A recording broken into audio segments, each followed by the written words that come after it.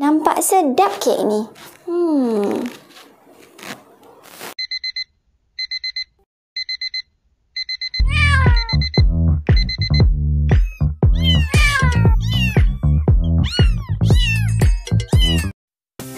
Mungkin ada dalam kalangan kita lebih suka memasak mengikut resepi yang menggunakan sukatan cawan atau sudu berbanding resepi yang menggunakan sukatan metrik.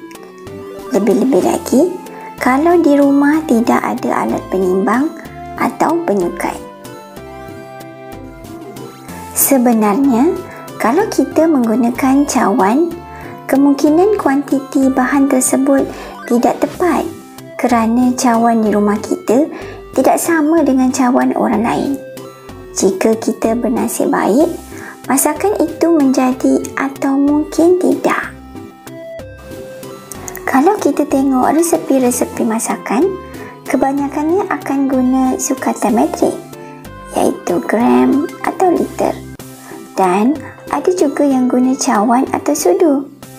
Bukan semua orang tahu maksud cawan atau sudu itu. Lagi-lagi kalau rumah tiada oven dan belum pernah cuba buat kek. Ukuran yang tepat sangatlah penting untuk setiap masakan dan baking. Sukatan menggunakan sudu dan cawan untuk masakan yang tidak memerlukan kejituan yang tinggi. Makanan yang tidak memerlukan kejituan yang tinggi adalah seperti muffin, manakala makanan yang memerlukan kejituan yang tinggi adalah seperti kek. Tips untuk sukatan sentiasa menggunakan sudu penyukat untuk setiap resepi anda kerana adanya perbezaan sukatan antara sudu penyukat dan sudu-sudu biasa. Juga untuk mengukur bahan dengan betul, pastikan bahawa anda menggunakan cawan ukuran atau sudu penyukat yang sesuai. Mudahnya menyukat. Tahun 4, buku teks halaman 127. Mari kita membaca teks sebelum melengkapkan peta dakap. Kini, terdapat inovasi bagi alat penyukat. Pembuat kek dan pastry pasti memerlukan sudu istimewa ini. Sudu ini merupakan sudu berpenyukat digital. Alat ini mempunyai bentuk yang menarik dan unik. Pemegangnya diperbuat daripada keluli tahan karat dan plastik yang berkualiti. Sudu ini ringan sahaja. Berat bahan yang disukat akan dipaparkan melalui skrin yang jelas. Sudu berpenyukat digital ini banyak keistimewaannya. Antaranya termasuklah dapat menimbang dengan cepatnya dan tepatnya. Pengguna pasti berasa gembira kerana sudu ini senang digunakan dan mudah disimpan. Baiklah murid-murid, berdasarkan teks yang telah kita baca tadi, sekarang murid-murid dikehendaki melengkapkan peta dakap. Mula-mula, kita kenal pasti ciri-ciri yang terdapat dalam perenggan yang kedua.